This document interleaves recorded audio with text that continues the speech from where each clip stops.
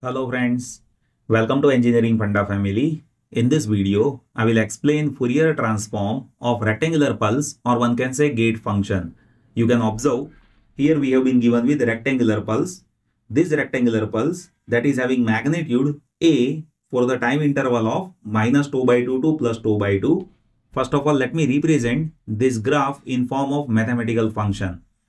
See, this rectangular pulse let us say that is x of t that is having magnitude a for interval which is ranging from minus tau by 2 to plus tau by 2 and it is having value 0 elsewhere right?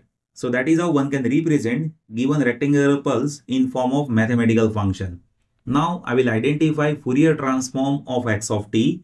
So one should know fourier transform of x of t is x of omega and that can be expressed as per integration is having limit from minus infinite to plus infinite x of t into e to the power minus j omega t dt.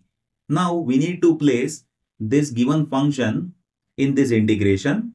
See this x of t that is having magnitude a for the duration of minus tau by 2 to plus tau by 2 and it is having 0 value elsewhere right so here with this integration, only value is there from minus tau by 2 to plus tau by 2. Otherwise x of t is 0, right? So for the duration of minus tau by 2 to plus tau by 2, magnitude is a, right? Now we need to simply integrate this. For this integration, you need to take this constant a outside and integration of e to the power minus j omega t that will be e to the power minus j omega t divided by minus j omega and here limit is there from minus tau by 2 to plus tau by 2. Now simply we need to apply the limits.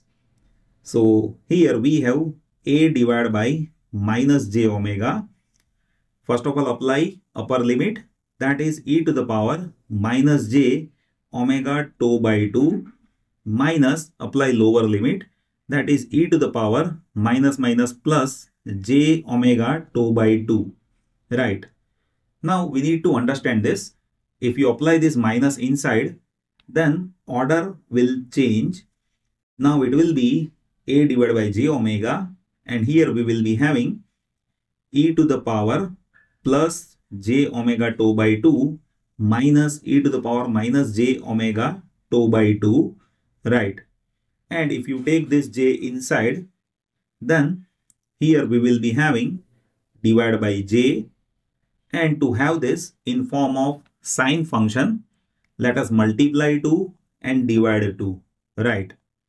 So what is this? This is sine function of omega tau by 2 so you can say this is 2a by omega into sine of omega tau by 2 now we can represent given function in sampling function. Let me explain how. One should know the sampling function. See sampling function of t that will be sine t divided by t. So if you want this in form of sampling function, then here what we will be doing is we will be having sine omega tau by 2 divided by omega tau by 2 right? So if you observe carefully here we have a right? And this 2 that is going in denominator over here and we are additionally dividing 2 so we need to multiply 2 here right?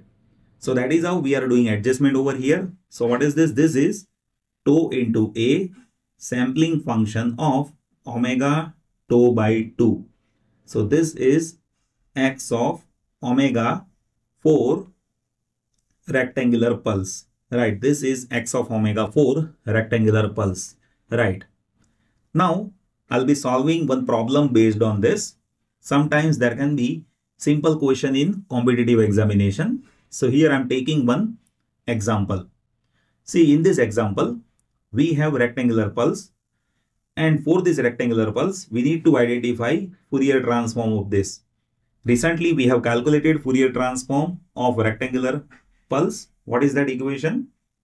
f of omega that we have calculated that is a tau into sampling function of omega tau by 2.